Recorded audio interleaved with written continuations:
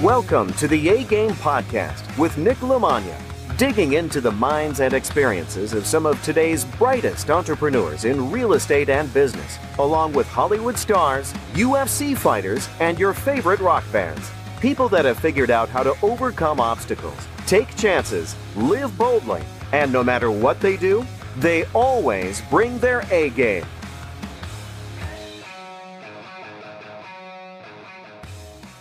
My interview today on the A Game podcast is top five UFC lightweight raging Al Iaquinta, who is also climbing the ranks of the real estate ladder as well. He's making a name for himself on that side of it too. This is a guy that I've been friends with for a while, and uh, I just I respect him tremendously. Uh, I learn a lot from him. I, I get a lot out of watching how he operates and how he handles himself, and I got a lot of this interview. I really appreciate him doing it. He did this interview a while ago. I had some issues with iTunes getting it out, so I do apologize that it's from uh, a few months back prior to his Kevin Lee fight, but we talk a lot about business, about real estate, goals, mindset, some stuff about fighting as well, and I still think you'll get a lot out of it, and it's a great interview. Timing's pretty good too. He's got a fight coming up May 4th. It's this Saturday on ESPN Plus against Donald Cerrone, which should be an amazing fight, and an outstanding fight, and we'll definitely pulling for a win for him on that. Great guy, great dude, just a guy's guy, a fighter's fighter. Everybody that knows him respects him, and uh, he just brings his A game and everything. So I thought he was a great fit for the podcast, and I again really appreciate him doing it. I got a lot out of it, and I hope you do too. In the meantime, if you do want to contact me about any investment opportunities, see some of the stuff we're working on, you can email me at nick, N-I-C-K, at nicknicknick.com. If you're interested in partnering on some investment properties or potentially buying some investment properties or selling some investment properties, uh, that would be the best way to open up that conversation. So again, Raging Al Iaquinta, good luck this weekend. Really appreciate you doing the interview. Really looking forward to your fight. And I hope you guys enjoy this interview.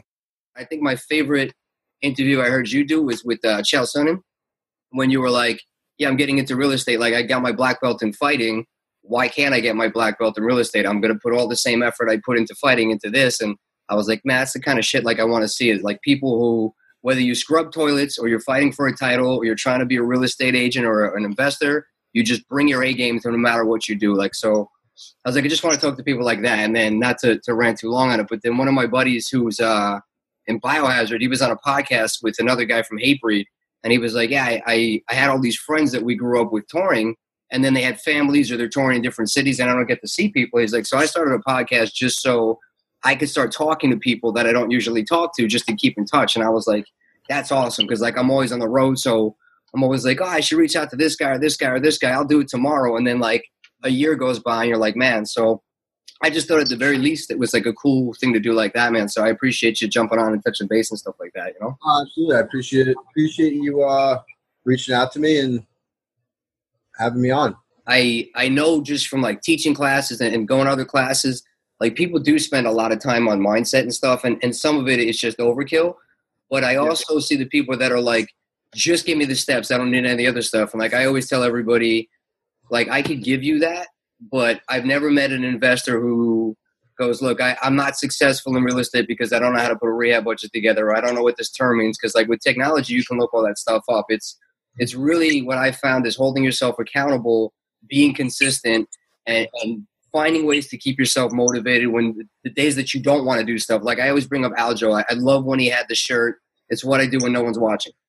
Like I feel like that's all the difference in the world is people watch Million Dollar Listing and they're like, oh, like yeah, I'm to get my real estate license in New York and I'm just to make a million dollars. Or they watch Flip This House. They go, oh, yeah, I buy it, I fix it up, and I sell it. Like yeah, I'm to do that.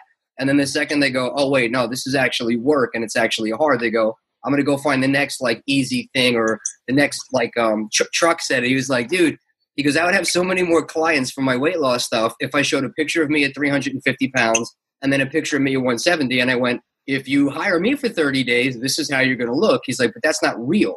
So I tell people, like, I want you to lose weight, but I don't want you to have to use me anymore. I want you to keep it off. So it's gonna take four months and there's gonna be good habits. And they go, I appreciate you being honest, but I'm going to go pay for this secret magic pill I saw on TV instead.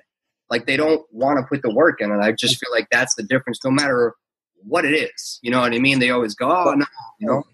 That's the difference. It's you know changing your lifestyle. If you if you um you know when I made set a goal to really get this real estate thing down, it's not something you can kind of do when you want to do it. You got to make a lifestyle change so that when the job needs to get done, you know you're you're available and you can you can make it happen. Same thing with fighting. Everyone gets beat up and and you know gets down on themselves and maybe wants to take a day off the gym. You got to kind of you got to schedule the same thing lifestyle. You know, you have your off days, so you recover, and then you have your days that you work. And no matter how you, you know, you can kind of tailor things a little bit, but you got to be working the whole time for sure. Do you see that kind of stuff in the gym too? Like the, you know, the guys. I'm I'm I'm sure you get it a hundred times more than I do. But even even like me, if I go out, I haven't been home for a while. There's always the guy who comes out to me like, "Oh yeah, you're still doing that that jujitsu stuff? Oh, I'd love to do that. I've had 400 street fights." And I'm like, "Well, you know, we talk about this every time I see you that you're drunk, and I tell you to come down to Serra's on Monday or go check out Long. Well, next time you come home, we're gonna go." And it's been eight years of that.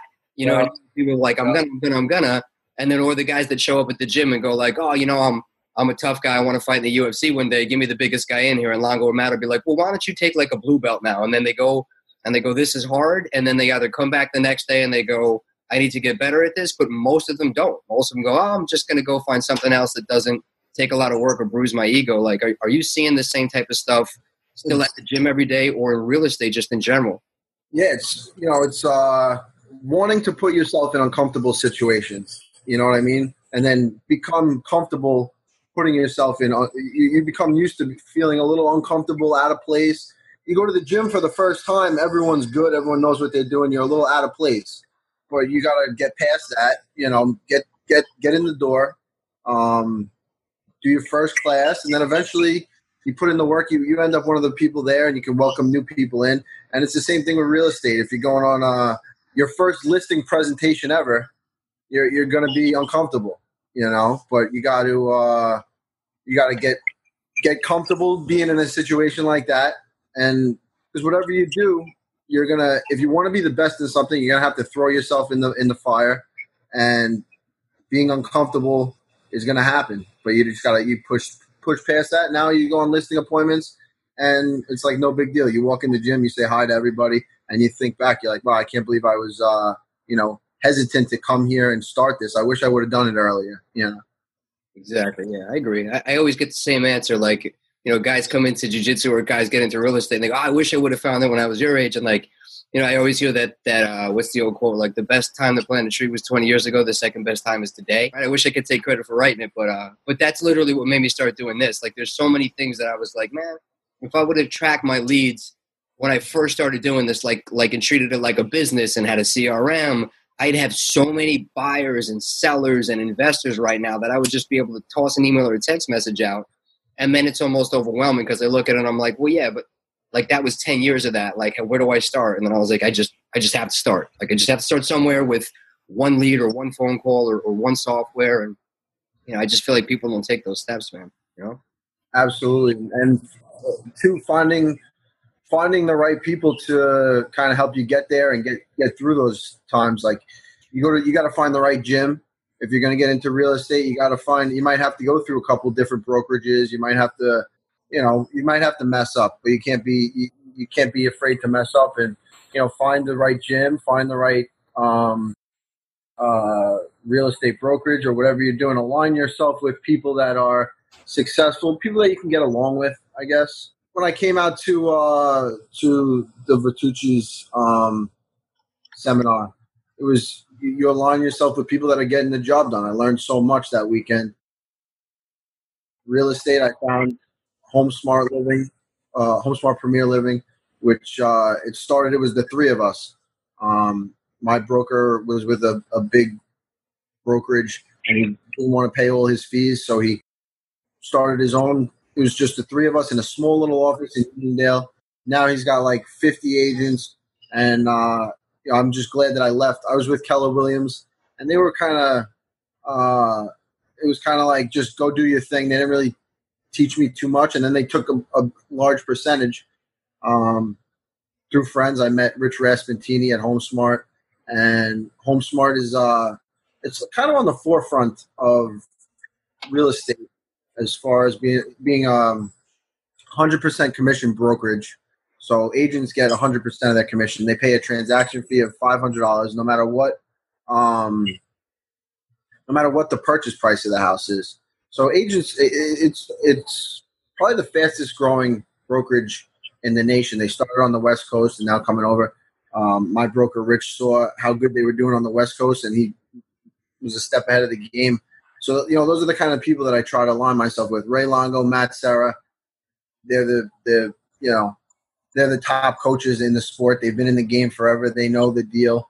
Um, all their guys have success. All, all the whole team has success, and I saw that when when I was getting into it. You know, you got to align yourself with uh, with the right coaches, the right mentors, the right people. Because if you want to do it on your own, it's very, very, very difficult, if not impossible. You know. Yeah. Agree. Agree. Matt always tells, uh, "Water finds its own level." Yep. Yep. Right. They both they both have said that to me, and I it, it's so true. You know, you you're in a room with people that are training to be the best in the world, and you're there to do the same thing. It's it's a breeding ground for success for sure. If everybody in the office wants to be a uh, you know a top seller, you guys are kind of competing with each other. It's you know it's competition. Um, I think that's the biggest the biggest thing. You know, just competing. Um, have the right mindset. They, all they all find each other in some way.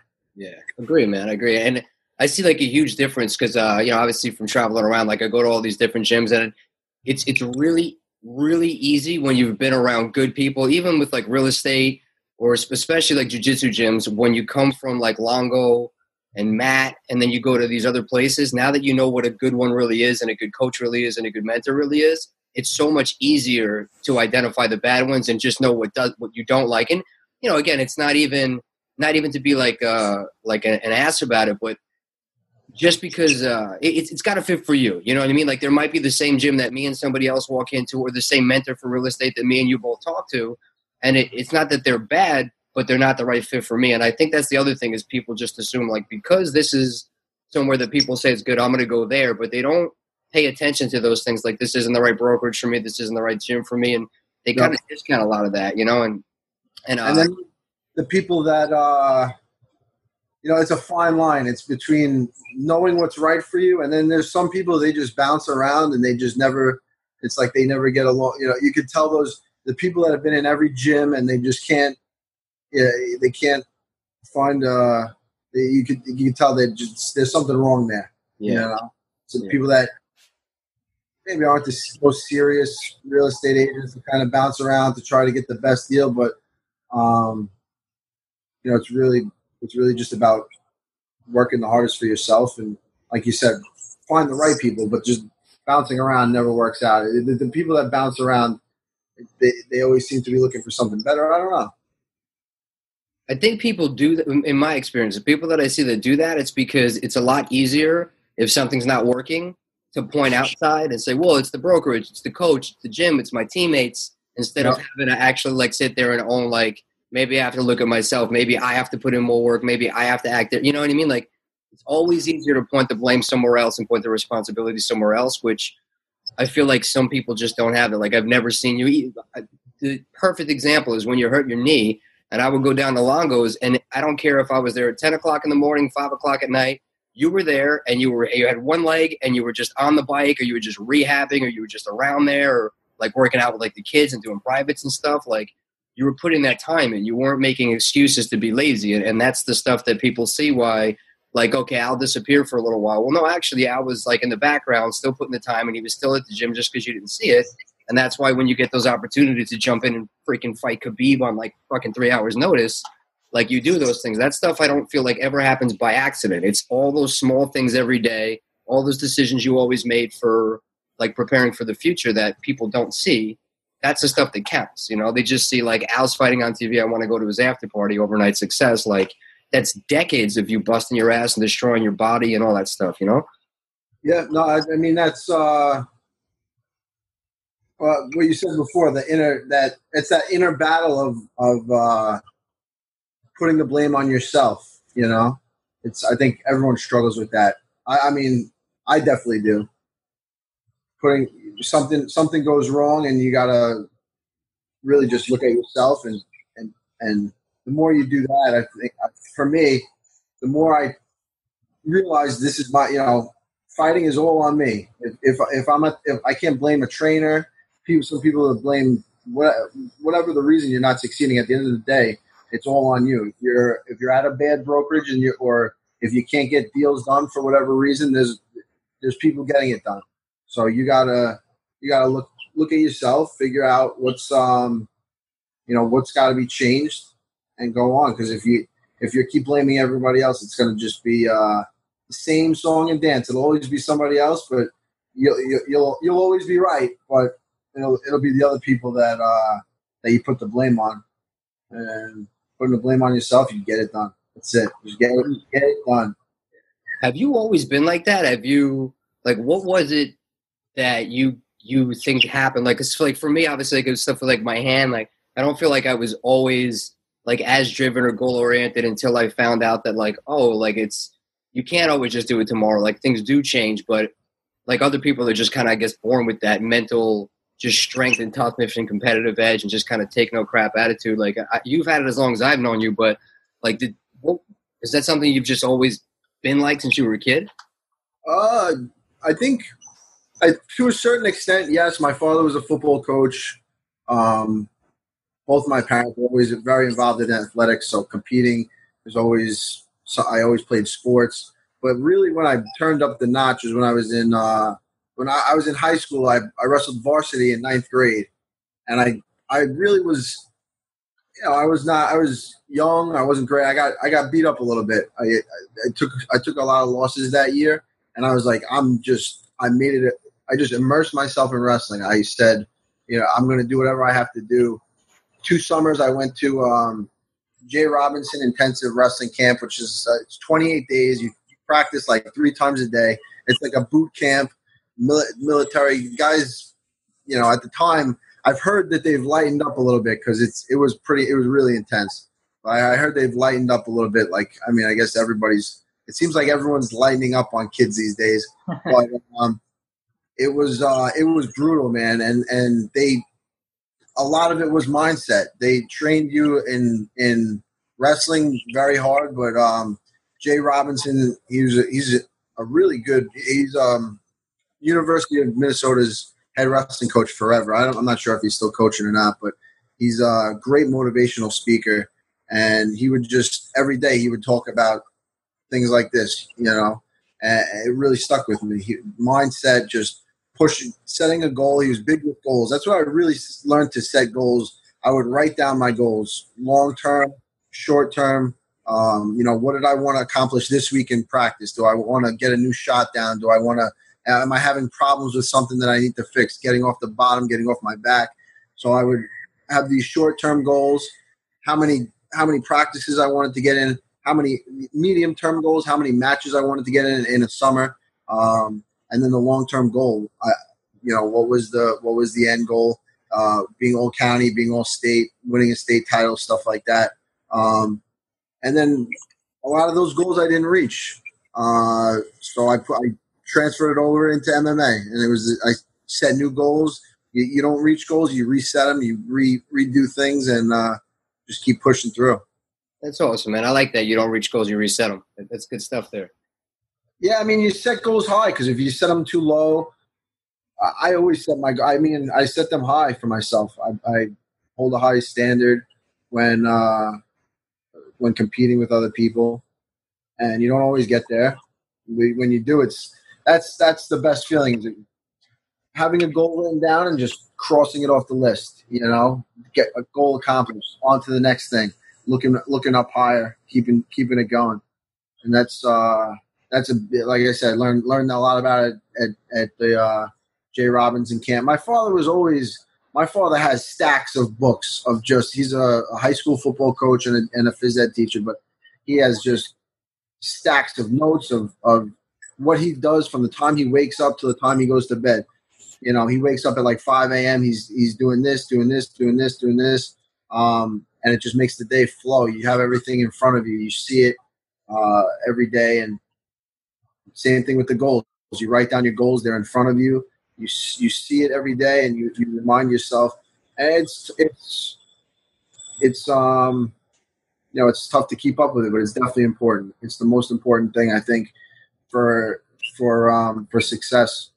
And brought that over to the real estate thing. Same thing.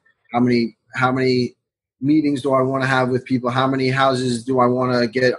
How many listings do I want? How many buyers do I want? Um, and the end goal, how many how many deals do I want to have done over X amount of time? You know. That's awesome. How do you how do you structure that? So uh, you know, again, a, a balance is always like a tough thing. So between fighting and doing privates and doing real estate and doing like social media stuff and podcasts and things, do you do you use just like a notebook or even your dad if he's been doing that forever? You know, I know guys that use whiteboards, guys that use like Dropbox, Excel sheets, pads, and is there like a specific time of your day that you made that a habit? Like I wake up in the morning, first thing I do is write down my goals or plan out my day, my hours, my week. Like how specific and routine have you made this stuff? You know, if, if it's the night before, I'll write down kind of my schedule for the next day. I'm waking up at this time. This is the first thing I'm going to do. And, uh, you know, plan out the whole day, go through the day. I, I got rid of, I got rid of Instagram and Twitter off my phone. I don't have it on my phone anymore because I would waste the first hour of my day would be I, the first thing I would do is look at my phone and I'm scrolling through videos like memes and stupid shit for an hour. And it took me a while to realize that it was actually one of my one of my friends. He said the same thing, and we I was I was like, wow, you're right. I I do the same exact thing. It's such a waste of time. Um, so now the first thing I do is I wake up and I do. I write goals, stuff like that. I've been doing reading, reading more, but the social media shit, holy crap, that'll kill you. It's like it's it's an endless pit of just videos and stuff. It's cool stuff, good to pass the time, but it's not going to get you anywhere. You know, I mean, your business are you getting through social media? Because I know you and you have like probably the most popular parody account on like the entire Twitter universe, but um that that's like a, another thing that I was really interested because you're a little bit of an anomaly like that too. That for some reason, which I, I think is so crazy, of all the things that people do, the keyboard warriors for fighters are the worst. But you know, again, in the age of social media, not even necessarily for the UFC stuff, but obviously marketing yourself and your brand and letting people know that you are doing real estate, having that following and that name and that that you know your face out there all over probably would help. But at the same time, it's probably also a, a, huge pain in the ass because you constantly have to deal with all the idiots and the like. So how do you kind of balance that out for keeping it positive, not letting them get to you, but still using it for the good, not the bad? Well, I, I delete. I got rid of it, so I haven't been really used. I go on. I go on the computer when I get home and I look at Twitter.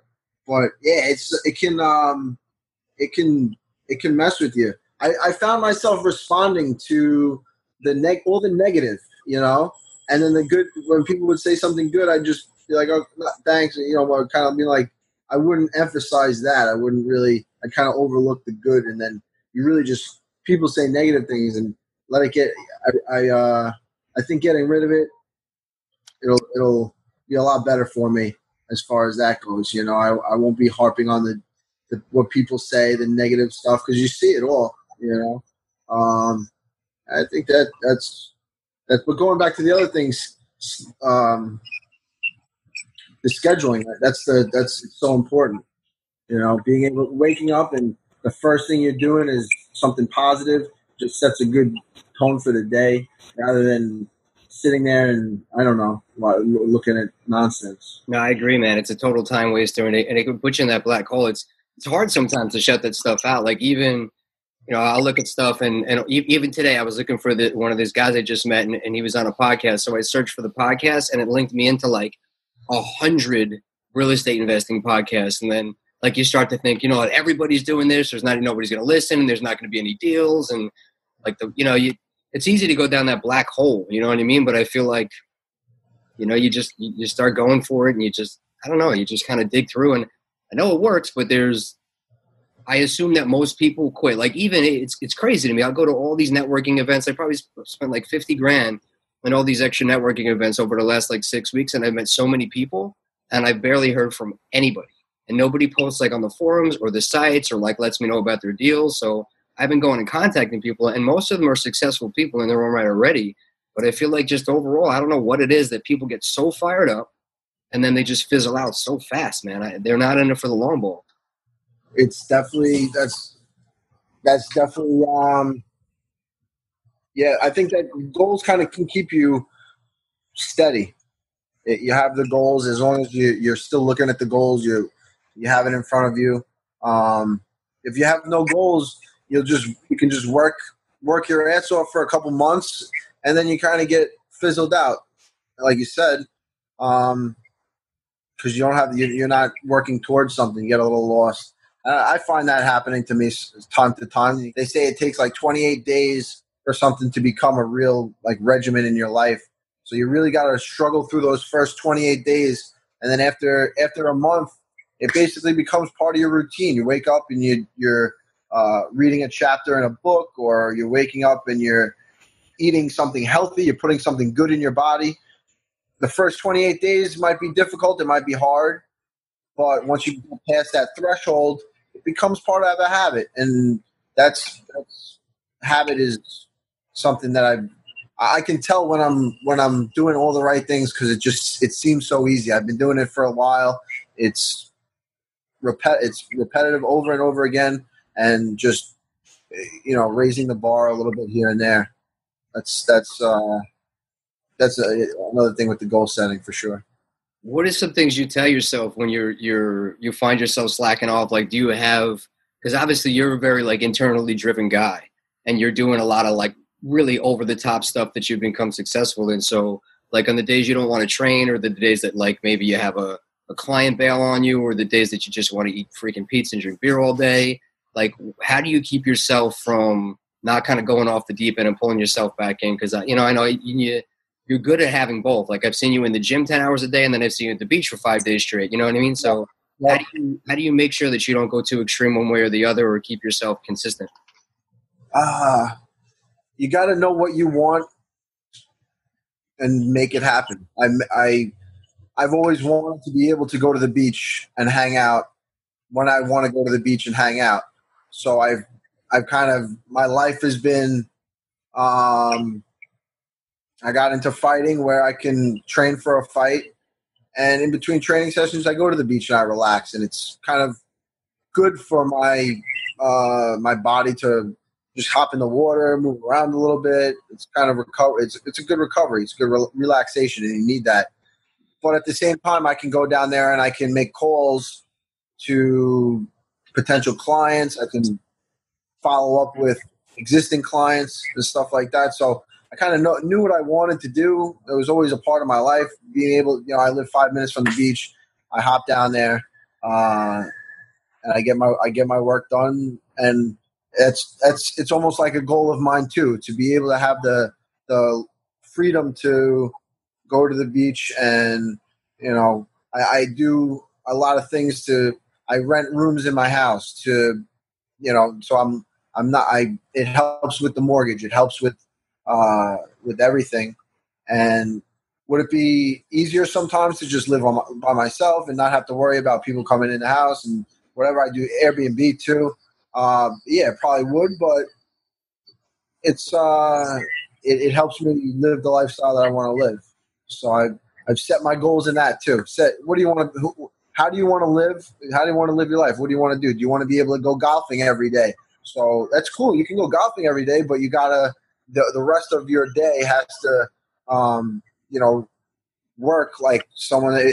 If if you're cool with having nothing and just living on the beach and chilling, then that's fine. But don't complain if you don't if you don't have enough money to go on a trip or or you know do what you got to do.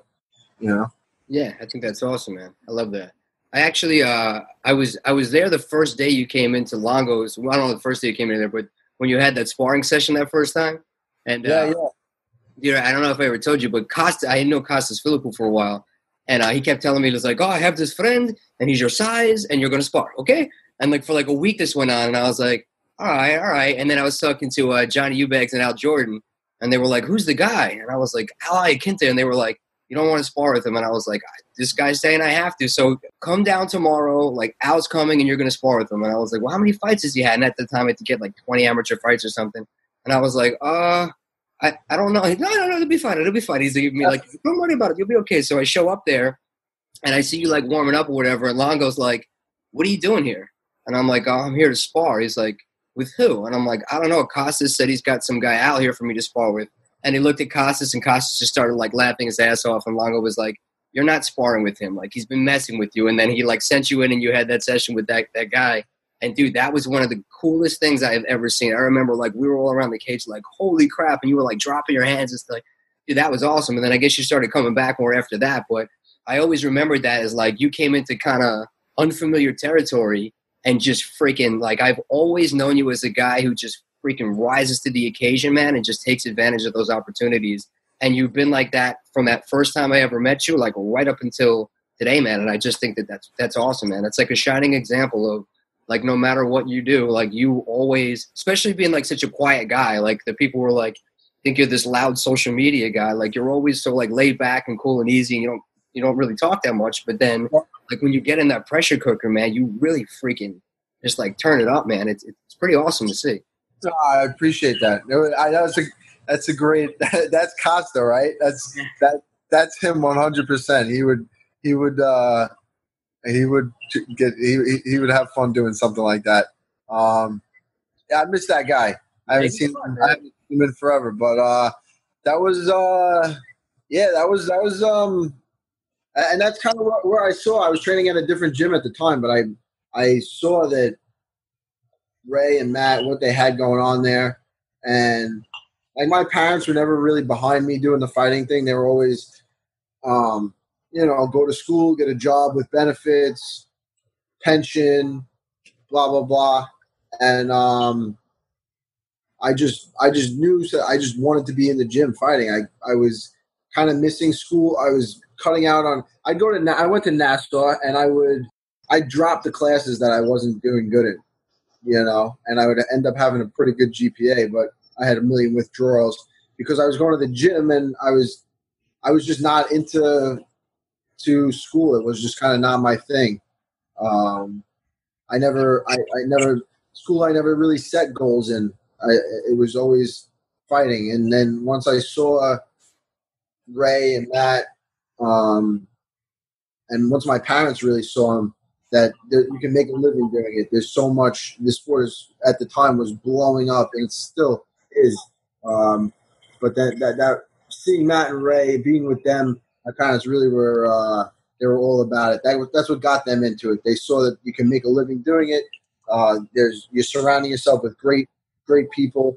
Um, it was uh, it was it was that sparring session was did that changed a lot of things. That was it was it was awesome. It was great. Was uh, George Sotiropoulos. Yeah, right? yeah, yeah. He, he, went to war at the time. He was uh, in the UFC and having great success. I was just a young, young, hungry kid, man. And uh, yeah, I I sparred with him, and then afterwards, Ray was like, "Yeah, you know, we'd love to have you down here."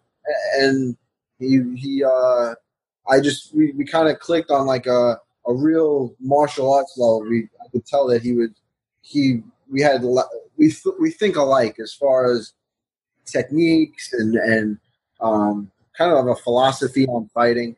So that was uh, that was just that was a great day. That's cool, man. Yeah, I, I like exactly what you're saying. Just surrounding yourself with people that are happy for you. And uh, that picture that just came out of you, Matt, and Ray cornering Aljo, yeah. Everybody like so excited. Like I, I, was showing it to people when I wherever I, I forget where it was, but I was like, that's three people that are like legitimately, genuinely happy for one of their friend and training partners' success. Like there's like that's the kind of stuff I love. Like you couldn't fake that reaction. The three of you guys were so happy for him, and like insert whoever, you know, like Ray gets an award, Matt goes into the Hall of Fame, like you get a title shot, like I like that you're surrounded with a bunch of people that are like are loyal and really there's not like jealousy or hate like because people know when Aljo's in there like you know he's in there because he worked his ass off and he, he earned that fight and he earned that opportunity and you know same thing with you so I, I like that about people that are successful in real estate people that are successful in in fighting all that stuff like you know at the gym if you're not going and somebody else is, you're you're not mad that they're getting better because you know, hey, like they put the time and they're getting what they deserve. Same thing, you know, real estate. Like I'm sure in your office or people you talk to, the ones that are that are crushing it, you probably see them there often, and you know that they're always in there putting in the hard work. So they earn that listing by going on those appointments or making those phone calls or getting those rejected offers and that kind of stuff. You know. Yep. No, it's it's what it's all about. That's what it's all about. It's uh and, and Ray and Matt there you feel that when you walk in the gym. It's there's no it's a, it's just a, a great place to be. You always look forward to being there. The, people that turn it into an enjoyable, unenjoyable place usually get weeded out. They they just they have the wrong attitude and they don't they don't um they they don't last. You know, you know in a, in a good environment. If you can last in a good environment, it means you bring something to the table and and you know, whether it be just a good energy, whether it be some coaching skills, whether it be uh, being a teammate, uh, helping in some way, rather than just draining all the energy. Yeah, yeah, exactly. So, how did you get into to real estate? Like, what piqued your interest on it? What kind of stuff? Like, talk me through a little bit about what what kind of got you into it and where you're now and what the the overall plan is. Because I've been hearing about like open up brokerages and branching out and stuff like that, man. So, I uh, I just so I, I bought my own house like four years, five years ago now, and um, I, I enjoyed the process of looking at houses on Zillow and sending them to my friend's mother, who was my agent at the time, and she uh, she took me around. She showed me all the houses. She was very good, but um, I was doing a lot of the. She was awesome, but I was doing a lot of it my own, like looking online and stuff like that and then she sent me over a list of, of all the houses on the MLS, and I was like, wow, she has like access to something that I don't have. Uh, so I, I, just remembered all that and how she, I, I just the, the, whole process fascinated me, seeing what you know I was pre-qualified for, what was around in my budget, where I wanted to live, and um, it was kind of like a puzzle piece that she had to fi- figure out with me, and we got it done.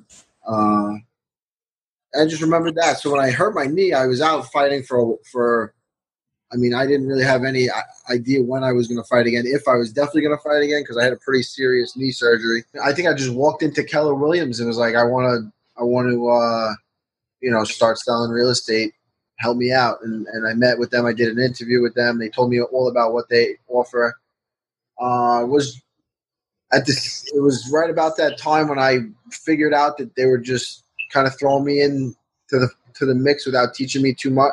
I had friends that wanted to buy houses, and I didn't really know how to go about showing them a house. I didn't know how to. I didn't know the process of, you know, putting in an offer, getting an accepted offer, inspection, getting under contract, and then, you know, finally to closing. I didn't know that whole process. I didn't know what. So I realized that I wasn't learning at the rate that I should have been. Uh, at the same time, I met through a friend um, Rich Rasmatini, who I, I, told you about, he was the uh, it was a big brokerage. He, he branched off, saw the um, saw the potential of HomeSmart in the West Coast and how they were starting to move all over. Long, one of the the uh, fastest growing brokerages in the nation. So he franchise he got his he went out, learned from them, started his own his own branch, um, HomeSmart Premier Living, the first one on Long Island and it was the three of us. And I just learned from him every day. We'd sit in the office, and I would just listen to how he spoke to people, listen to how he, uh, you know, negotiated deals and and found uh, leads, work leads. So it was, uh, it was. I, I. That's when I knew I was really in the right spot. I was. He, he had goals. I saw that he had his own goals, um, and I followed right right his, his path, and now it's one of the biggest brokerages um, on Long Island. It's uh, he just opened three more offices. Agents are coming over like crazy, and he's got one of the best training programs. I'm very happy that I ended up there. That's awesome, man. Nice. Yeah. So what, what's uh, what kind of stuff are you doing? Are you are you doing any anything on the investment side? Are you working more with home buyers or cash flow properties or?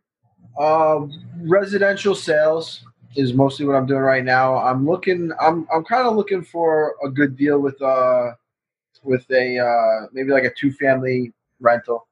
You know, get some uh, get some passive income going. Gotta find the right deal and and, and pull the trigger. I, I listen to a, a lot of the podcasts, and it's like you just got to jump in the ring. You just got to get in there, and you'll figure it out as you go. But if you win, you lose, you move on to the next one, and, and you already know what you got to do, what you got to fix. Uh, you learned a lot, so I think that's I got. I, I'm gonna. That's my my next thing. I'm I'm balancing real selling real estate.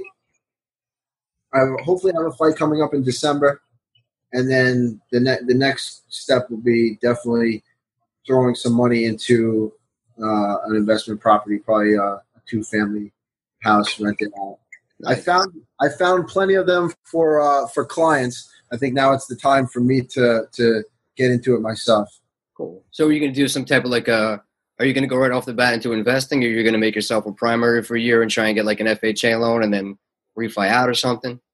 Uh, I would like to find something distressed. You know, some two two family house, put some money into it, uh, rent it out, refinance it, throw that money into another one, and kind of build a little build a little portfolio of, of houses. I've, I've you know, would like the, the, the goal would be to have like 10 solid two family rentals. That's kind of like my, that's, that's my, the goal in my head, uh, you know, for like the next three years, I'd say. So I think that's, it's, it's, uh, it's a, it's a little reach, but I think it's doable. I don't think it's know? reach at all, dude. I think you could definitely do that. Absolutely, absolutely. Are you married to the New York market, or you branch it out into some of the surrounding areas?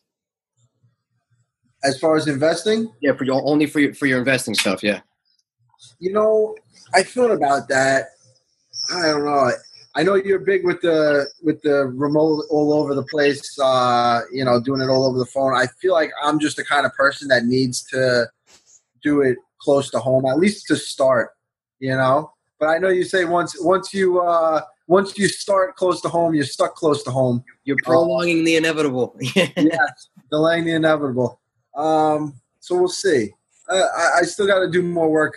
That's like uh, I really I'm going to focus on that after December. My fight in December, and then uh, I think the, the that'll be the um, my my next my next date is looking towards a fight in December, and then after that, I'll have a lot more time to really do the do the proper research and and uh, make it happen. Are you? Uh, is is that looking like it's going to be the that Milwaukee card with Kevin Lee? Yeah, yeah. I think that's that's the. They keep telling me that's the plan. I'm still waiting for a contract, but they say that's the plan, and it should. It, it looked. It's it's as as close as can be uh, confirmed without having a contract signed. You know, it's so weird that they tweet bouts that aren't actual bouts. Like I didn't notice that until like I actually knew you and Chris, and then like I would see Chris, and I'm like, they announced that fight. He's like, it's not signed, but they. I'm like, why did they do that? I don't know. Yeah, thing. uh, I don't know why they've been doing that. I think they kind of stopped it because fights have been falling through or whatever. But I, I don't know. Maybe it's some kind of pressure guys into taking a fight, or I don't know what it is. But it's definitely uh, it's kind of uh, kind of annoying, I think, right? I can't imagine how frustrating that is for you as the fighter having it. They, find out on, they find out on Twitter that it's uh, that it's a fight, I guess, but you're still like, I didn't sign a contract. I don't know. Yeah. Dude, I, I can't imagine how it makes you feel. I get mad for you. I think I was talking to Chuck about it, but like somebody like Kevin Lee that is making this big name for himself, and it's like, I'll beat him. Like, and you beat him pretty handily too. And then Khabib, everybody's now, oh, I figured out the secret to Khabib because Al did so good with him. And I think people are going to quickly realize when they see if you fight Kevin Lee again and smash him, or however the Conor stuff goes, that people are going to have to realize by how good Kevin Lee and how good Khabib do that it wasn't about how great they were or how bad a night they had. It was how good you actually are. Like, does that, like, because I get so pissed off. I'm like, stop devaluing what he did. Oh, well, it was this, it was that. Like the people that know you know that those people look human because you're just that good. Like, how do you that like get to you? Because it drives me nuts. I think it'll all it's all gonna it'll all show itself. You know, it'll it'll it'll all work out.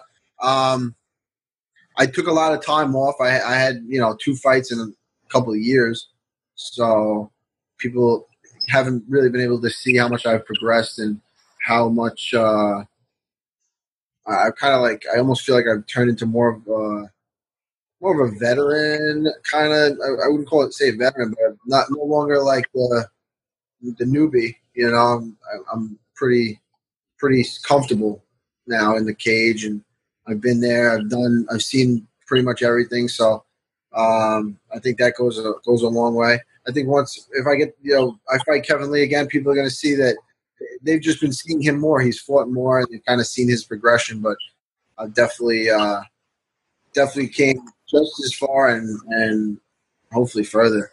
But uh, he's been working hard. He's definitely been working hard. He's had some good fights. He's tough. Uh, I think he's going to be just trying to wrestle the whole time. But uh, we'll see how it goes. It's going to be fun. Um, I'm a betting man. I'm going to be betting on you for sure, man. And pretty much all those fights. That Khabib stuff was just amazing, man. That was the coolest thing ever. We were all in the back at the bus tour, like watching that, man. Just that's what I think it's all about, man. Just you, you really take life and seize opportunities, regardless of what it is, and that's the kind of stuff that excites me about just you know having people around that are you. Like, like I know a lot of really cool, interesting people that do stuff like that, and I just think it. That's just where success and life experience. Like you're never a guy who's going to look back on life and like regret stuff or be like, what if this, what if that? Like you really just go for it, man. It's, it's very refreshing, you know? I appreciate it. That's definitely, I definitely go for it. Hundred percent. It's, uh, I don't know why. Sometimes, yeah, no, it's just a good thing, I guess. You know, sometimes I, I can, uh, I don't even say getting myself into trouble, get myself over my head, but no, it's, it's uh, I go for it, and like you said, no regrets. Just take it, take whatever opportunities you get. Try to try to. I just wish I had a little more time to train for that fucking guy. I got, I got, I got. But that motivated me. You know, I showed me this guy's like the best in the world. Him, he's the number one, number two ranked guy. Um, and if I can, on a day's notice go five rounds when I was only training for three, and I was training for a totally different fight. Um, I think I definitely have the. It's. I'm right there. I'm right there. Hundred percent, man. Hundred percent. Yeah, that was. Uh, I I think that that was the goals and do it again. Yeah. That's it. You're on your way, man. You're on your way. You're getting there. Yeah. On the uh, on the investment side, when you write down your goals and stuff like that, like so when you're saying, "Hey, I want to get ten houses or 10 two family flats in the next year or whatever it is," with the ten houses, um, I would encourage you when you look at them, think about like really what do you specifically want out of the houses? Is it a long ball for equity, for pay downs, for cash flow, for cash on cash? Like, because if, if it comes down on the investment side to just numbers and rate of return and things like that, and that's really what's driving you, that's where I think, especially on the buy and holds, you might want to look into some of these other areas. And it doesn't necessarily mean it has to be somewhere that you have to do everything over the phone. Like we're in a nice place in the tri-state area that you could drive to New York, New Jersey, Connecticut, Pennsylvania. You know, I have properties in Delaware and Philly. That within an hour or two, you can still hit a lot of really good places that'll get you some of that. Or maybe it is that you want to play uh, in Long Island because there's just so much money there, and if you can get a, a good equity spread on it, you know what I mean. But I would try and figure out on the buy and holds of like what is it that you want, the equity, the cash flow, the rate of return, and you know, and then I can definitely help you if you want to get into some other places and things like that. I I've picked up so many cool things over the last like six, seven, eight, nine months from the different people I've just been coming across to really kind of dial things in and find some good opportunities and some stuff I wanted to uh, kind of set up with you in New York as well. But that's what I would definitely start to look at after December, man, for sure. Yep, it's you know I I feel like my network is Long Island based. I have a I, I have a tough time. You see, you're you're uh, you're like a nomad. You're all over the place. You're, you're you travel. You're always in a new city. I like to travel, but I always, I was really, I don't think I could leave. Uh, like my network, everything's right here. Uh, maybe I, I don't know. Maybe like Suffolk County. I think even out there, you get a lot more for your money and stuff like that. But definitely, uh, I realize I have a lot to learn. So I'm going to be picking your brain, and I'll I'll need to know as much as as much as possible before uh, before I really get going. Yeah, dude. When uh, we when, when you when you get the flight out of the way, I was talking to Aljo a little bit yesterday, man. But we could definitely sit down and I could show you some of the stuff that we're working on and some of the things that we're doing. And you know, even if it doesn't pan out, I, I think it'll get you a, a better comfort level of, of, realizing that you really don't have to be there. Because yet, like, there's there's definitely properties that I go see or go check on. Yeah. But usually it's so I can show them to like other investors and be like, here's what I'm doing, or like use for the classes. Like, there's a lot of good stuff with technology for checks and balances and things that you don't really have to be there or leave, and you can be pretty informed on a day to day day basis and really put a, a team in place to manage that stuff. And you know, it's always it's always a moving target a little bit because at the end of the day you're dealing with people and their employees and sometimes they don't get you the information or they don't do what they're supposed to so like you know like we were saying earlier you know when you know what's good it becomes very easy to identify when things are not a right fit or things are not good like if you talk to anybody on long island about doing real estate you're going to know pretty quick if they're full of shit or not you talk to anybody who does jiu-jitsu or mma and they say they do you're going to know within two minutes if they have any idea what they're talking about or if they're completely full of crap so you know, I, I feel like it's it's the same type of thing. Like the because I've made the wrong decision so many times, I know those red flags to look out for. And uh, you know, I think that you're always doing the right thing. Like you said, you surround yourself with people that can mentor you and help you. Or in my case, I always think what I bring to the table is I, I've done it all wrong already. You know, so I know all the things to look out for, so other people don't have to make those mistakes and stuff. And uh, happy to help, man. As soon as you're ready to focus on it, we can get you going for sure. Absolutely, appreciate it, Nicky. Cool, man. Man wrapping up any uh any any things you want to plug like how do people find you i guess not on social media but they want to talk to you about a home uh, any investment stuff? Just kind of follow you see what kind of stuff you got going on follow your fight stuff. Raging out realty at yahoo.com shoot me an email. If you're looking to buy sell property anywhere in the united states i can help you out. Um, hopefully lock this down december 15th kevin lee milwaukee wisconsin on fox. Main event. That's the game plan. I've been training training for it.